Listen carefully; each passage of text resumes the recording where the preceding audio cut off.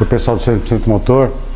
Hoje estamos aqui só para mostrar é, o que tem acontecido com a modernidade.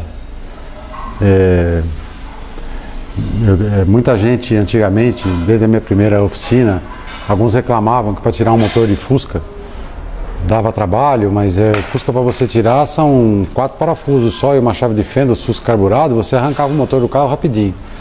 Hoje, o que vocês estão vendo aqui, um carro desmembrado na metade, carroceria para cima e o chassi para baixo, é o que acontece com os novos projetos de engenharia das fábricas. E esse é um Land Rover V6 3.0, é um Discovery 4, é motor turbo diesel, biturbo.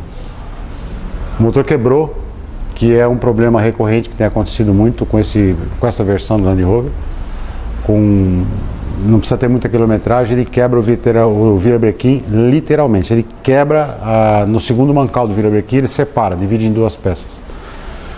O problema é que, além da complexidade da eletrônica e do motor, o projeto desse carro tem muito parafuso da caixa seca e fixação de escapamento que você não consegue acessar. Eu, na verdade, tentei tirar o motor do carro sem tirar a carroceria porque você percebe um certo espaço que daria para deslocar o motor e tirar. Esquece, não tem jeito. Uns cinco dias eu não consegui tirar o motor e eu gastei um dia para levantar a carroceria. É uma coisa ruim, eu, eu acho ruim de se fazer, tirar uma carroceria de um carro. A não ser Jeep velho, que você tirava com meia dúzia de parafusos, desmontava a carroceria do Jeep, que é uma coisa também trabalhosa.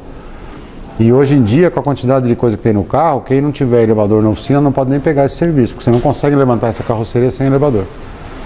Então, você tem que desmembrar, soltar todos os pontos de fixação da carroceria, desmontar a linha de freio, desmontar os para-choques, bocal de tanque, tirar os radiadores. Aí você consegue desmembrar desta forma. E, e depois tem que montar, alinhar a carroceria no lugar para não ficar fora de centro, aquele monte de coisa que quem já mexeu com isso já sabe. É um trabalho absurdo que eu acho que as fábricas deveriam pensar melhor na manutenção. Primeiro que se o cara fez isso é um carro que era para não desmontar nunca mais, né? Mas infelizmente o motor não dura muito tempo, ele quebra com uma certa facilidade. Vocês vão ver as peças agora que o motor está bem, está em boas condições, simplesmente o virabrequim não suportou a potência do carro.